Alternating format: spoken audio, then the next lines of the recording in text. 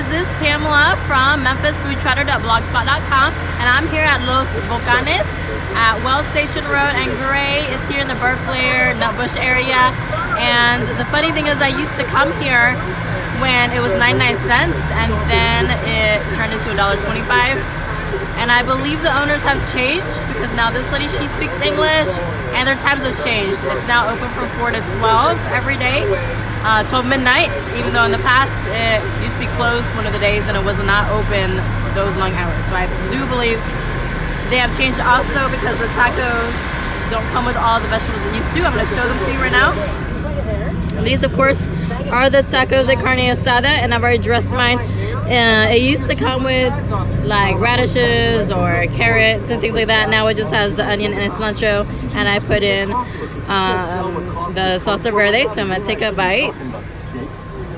He put his best detectives on the case. Hey, my two best detectives are Sticky and Bone, and they definitely know how to order coffee. Extra cream. Wink, wink. It does come with the double tortillas, unlike the previous place I just went to today. The Lupita that did not have double tortillas. These are, of course, are street size, but these are filled more than La, La uh, Mi Lupitas, sorry.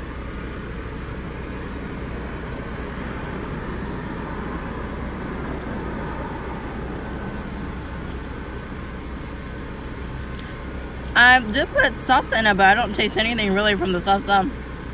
All I'm really getting is really the tortilla taste.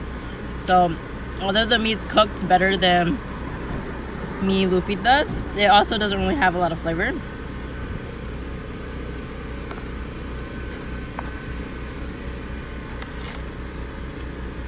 I'm gonna finish eating my dinner and I'm gonna write about this in I believe chapter 16 of my blog, memphisfoodtrotter.blogspot.com and I'll put it in my description box in the YouTube channel.